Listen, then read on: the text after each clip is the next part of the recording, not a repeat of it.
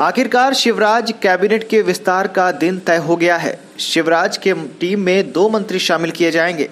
शपथ ग्रहण कार्यक्रम रविवार तीन जनवरी को दोपहर साढ़े बारह बजे राजभवन में होगा। मंत्रिमंडल विस्तार की सूचना कुछ देर पहले ही मंत्रालय से राजभवन भेजी गई है। इसकी पुष्टि राजभवन ने कर दी है।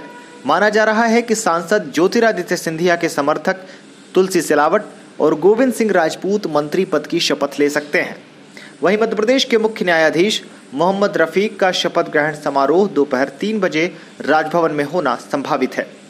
आपको बता दें कि उपचुनाव के परिणाम 10 नवंबर को आए थे, जिसके बाद शिवराज मंत्रिमंडल विस्तार का इंतज़ार किया जा रहा था। इसे लेकर मुख्यमंत्री शिवराज सिंह चौहान, प्रदेश अध्यक्ष वी डी शर्मा और ज्योतिरादित्य सिंधिया की चार दौर की बैठकें हुई हैं। सूत्रों ने बताया है कि शुक्रवार सुबह राष्ट्रीय नेतृत्व की ओर से मंत्रिमंडल विस्तार की अनुमति मिली है। इसके बाद कार्यक्रम तय किया गया है। बताया जा रहा है कि तुलसी सिलावट को जल संसाधन और गोविंद सिंह राजपूत को परिवहन व राजस्व विभाग मिलना तय है।